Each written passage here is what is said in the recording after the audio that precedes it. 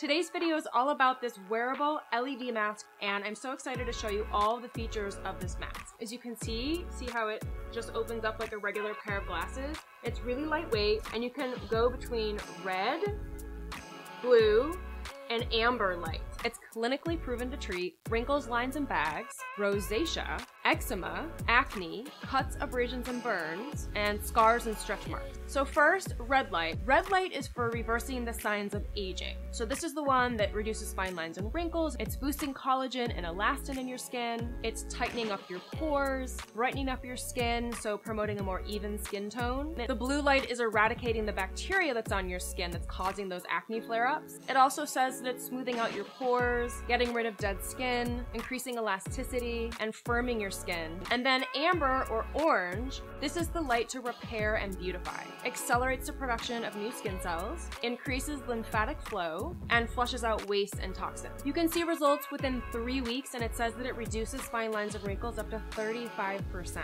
have to be really consistent. You really have to use it. Like use it every day for the first three weeks if you're gonna get this mask if you really wanna see the result. When I checked, it was free shipping. So you're getting an LED mask for under a $100 that has three colors and it's just so fun to use. I'll leave a link so that you can go to their website, you can shop this mask, or you can just look at all the information on the site. There's lots of photos and reviews and lots of information if you have more questions about this LED mask. They also have a 30 day money back guarantee, so if you're serious about getting the mask and using it for 15 to 30 minutes for the first three weeks and you don't see any results, you can return it and get your money back. So you really have nothing to lose if you're looking into getting an LED mask as part of your skincare routine.